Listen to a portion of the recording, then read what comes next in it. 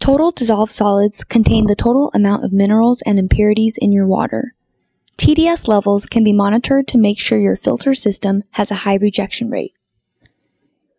We will demonstrate how to find TDS by using our APEC water filtration system.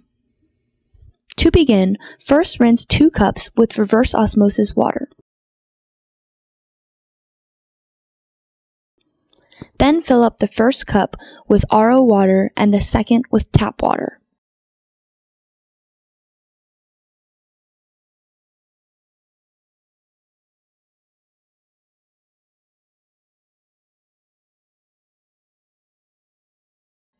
Next, rinse your TDS meter with reverse osmosis water to maintain accuracy. Place the TDS meter 2 inches into the water until the meter displays a constant figure. The meter shows 7 parts per million for the RO water. Shake off any excess water and then test the tap water the same way.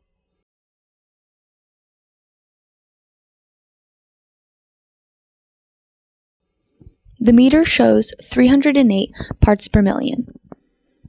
Now that we have recorded both of our readings, we can calculate the percentage of this APEC reverse osmosis system.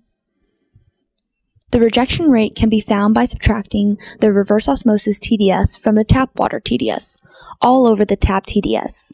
This decimal can be converted to a percentage by multiplying it by 100. Here's an example using the numbers we recorded earlier. We will subtract 7 from the 308 and divide it by 308 and multiply it by 100 to get the percentage. This will give us a 98% rejection rate on our reverse osmosis system. A good RO system should remove 90 to 99% of the contaminants in the water.